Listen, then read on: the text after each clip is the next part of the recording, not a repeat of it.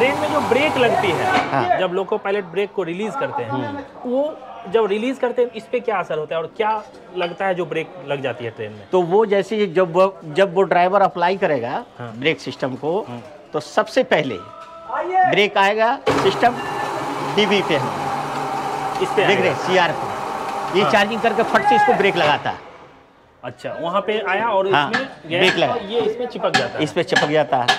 चिपकने के बाद ये ब्रेक हो गया। जब वो फिर उसको रिलीज़ करेगा तब हमारा डीबी यहाँ से करेगा इसका मतलब आप समझिए कि आपकी गाड़ी रिलीज़ हो रही है। ब्रेक उससे छोड़ रही है। छोड़ रही है। ब्रेक छोड़ रही है वो रिलीज़ हो रही है। वो रिलीज़ हो रही है। और वो रिलीज़ होके तब हमारा जो है काम गाड़ी ओके है हमारी।